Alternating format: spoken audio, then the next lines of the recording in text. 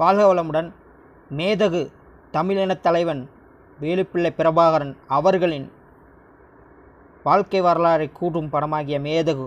அந்த திரைப்படத்தை பற்றி தான் நம்ம இப்போ விமர்சனம் பார்க்க போகிறோம் மேதகு நம்ம தலைவர் பிரபாகரனை பற்றி எவ்வளவோ வதந்திகள் அவர் ஏன் ஆயுதம் எடுத்தார் அப்படிங்கிறத வந்து எந்த ஒரு படமும் சொல்லலை. தமிழினம் எவ்வாறு ஈழமண்ணில் வஞ்சிக்கப்பட்டது அவர்களுக்கு எதிரான என்னென்ன கொடுமைகள் நடந்தது என்பதை கண்முன்னே கொண்டு வந்து காட்டியிருக்கிறார்கள். கிட்டு அவர்கள். மற்றும் அதில் இது இப்ப இத்திரைப்படத்தில் நடித்துள்ள குட்டிமணி அவர்களும் அதற்கு உயிர்ப்பு சேர்த்துள்ளார் என்பது மறுக்க முடியாத உண்மை. ஈழத் தமிழ் மண்ணில் எம் மக்களின் கல்வி எவ்வாறு மறுக்கப்பட்டது? அவர்களுக்கு வேலையில் முன்னுரிமை எவ்வாறு பறிக்கப்பட்டது? மற்றும் அவர்களுக்கு என்னென்ன கொடுமைகள் இழைக்கப்பட்டது? நமது மேதகு வேலுப்பிள்ளை பிரபாகரன் அவர்கள் எதற்காக ஆயுதம் ஏந்தினார் என்பதை பற்றி இத்திரைப்படம் மிக அழகாக கூறியிருக்கிறது என்பதில் ஒரு அணு அளவும் சந்தேகமில்லை.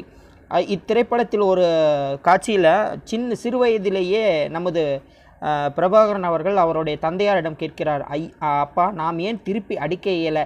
அன் என்கிற அந்த காட்சியானது ஒரு சின்ன பிள்ளையின் மனதில் எவ்வாறு எத்தகைய வழி இருந்தால் அத்தகைய கேள்வி பிறந்திருக்கும் என்பதை நமது கண்முன்னே காட்டியிருக்கிறார்கள். இன்னொன்று உலக அரசியல் தமிழ் மாநாடு உலக தமிழ் மாநாடு நடக்கும்போது அதுக்காக ஏவி விட்டு வேண்டுமென்றே நமது மக்களை அடித்து துன்புறுத்தும் காட்சிகளும் மற்றும் கல்வி கல்வியை உயர்கல்வியில் வாய்ப்புகள் மறுக்கப்படும் போது போராட்டத்தை முன்னெடுத்தும் போது அவர்களை அடித்து துன்புறுத்தும் போதும் நமது நம் இனத்தைச் சேர்ந்த ஒருவரே நமக்கு எதிராக துரோகம் செய்யும் போதும் அதனால் ஏற்படும் வலியும் வேதனையும் நம் மக்களுக்கு இழைக்கப்பட்ட துன்பத்தையும் கண்முன்னே காட்டியிருக்கிறார்கள்.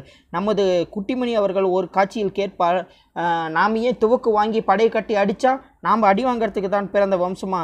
என்று கேட்பார். உண்மையிலே மிக அற்புதமான வசனம். இன்னொன்று ஒரு உயிர் உன்னதமானது என்பதை அறிவேன். அதைவிட உன்னதமானது எனது எனது கௌரவம் எனது உரிமை எனது சுதந்திரம் என்ற வார்த்தையானது ஒவ்வொரு த ஒவ்வொருவருக்கும் தா அவர்களின் இனத்தின் மீதும் அவர்களின் மொழியின் மீதும் இருக்கின்ற பற்றையும் சுதந்திரம் எவ்வளவு முக்கியமானது மற்றும் உன்னதமானது என்பதை பற்றிய ஒரு விதையை நம்முள் விதைக்கிறது என்பது ஆழமான உண்மையே அன்றி இன்னும் சிறப்பாக ஒவ்வொரு காட்சிகளிலும் நமக்கு மிக அற்புதமாக எடுத்திருக்கிறார்கள் என்பதை நாம் நிச்சயம் பதிவு செய்ய வேண்டும். மேதகு பிஎஸ் வேல்யூம் என்ற ஓடிடி தளத்தில் வெளியாகியுள்ளது. நாம் அனைவரும் பார்க்கக்கூடிய திரைப்படம். இன்னொன்று என்ன கூற வேண்டும் என்றால் நமது தமிழின தலைவன் பிரபாகரனை பற்றிய வதந்திகளுக்கு ஒரு முற்றுப்புள்ளி வைப்பது போன்ற இருந்தது பிறந்தான் பிறந்தான் ஒரு மாபெரும் மாமனிதன் பிறந்தான் என்ற வசனம் என்பது உயிர்ப்பு தருகிறது. எத்தை எத்த தலைவன் என்பவன் எவ்வாறு உருவாகிறான் மற்றும் அவனது அவன் தன் இனத்திற்காக எத்தகைய தியாகங்களை செய்ய முன்வருகிறான் என்பதை நிச்சயமாக அழுத்தம் திருத்தமாக இத்திரைக்காவியம் நமக்கு பதிவு செய்கிறது. நமது பிரபாகரன் ஐயா அவர்கள் எதற்காக ஆயுதம் ஏந்தினார்? அவர்கள் ஆயுதம் என்பதற்கு அவர்களுடைய சூழ்நிலை எவ்வாறு அவரை இழுத்துச் செல்கிறது என்பது போன்ற கேள்விகளுக்கு விடையாகவும் அமைகிறது. ஒவ்வொரு காட்சியமைப்பும் எனக்கு மிகவும் பிடித்திருக்கிறது. இன்னும் கூற வேண்டும் என்றால் அதற்கு நமது பாரம்பரிய கலையான கூத்துக்கலையின் மூலமாக கூறுவது இன்னும் உயிர்ப்புடன் நிற்கிறது. மற்றொன்று அவர் இளம் வயதிலேயே எவ்வாறு தன்னை முன்னிறுத்தி கொள்கிறார்? மற்றும் பகத்சிங் அவர்களின் கொள்கைகளும் திரு சேகுவாரா அவர்களின் கொள்கைகளும் அவர்களை பற்றி அவர் அறிந்து கொள்ளும் விதமும் அவரின் பார்வையும் மிகவும் விசித்திரமானது மற்றும் நேசிக்க வேண்டியது.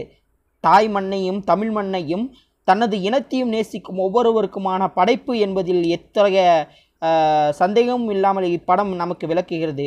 எனவே தயவு கூர்ந்த அன்பு நெஞ்சுகள் எழுபது ரூபாய் என்பது மிகவும் குறைவான கட்டணமே. அதை செலுத்தி பிஎஸ் வேல்யூ தளத்தில் நமது நமது மறைக்கப்பட்ட வரலாறை நாம் அனைவரும் காண வேண்டும்.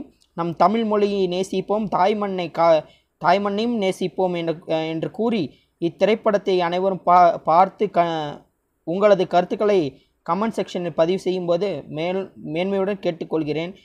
பிரபாகரன் ஐயா அவர்களின் வணங்கி மற்றும் தாய் தாய் தமிழையும் வணங்கி இக்காணொலியை நான் நிறைவு செய்கிறேன். எனது காணொலியை பார்த்தமைக்கு மிக்க நன்றி. உங்களது மேலான கருத்துக்களை பதிவிடவும் உங்களது நண்பர்களுக்கு இக்காணொலியை பகிர்ந்துவிடவும் நான் வேண்டு வேண்டுகிறேன். மிக்க நன்றி. வணக்கம். வாழ்க வையகம். வாழ்க வளமுடன். வளர்க பாரதம். வளர்க தமிழ்.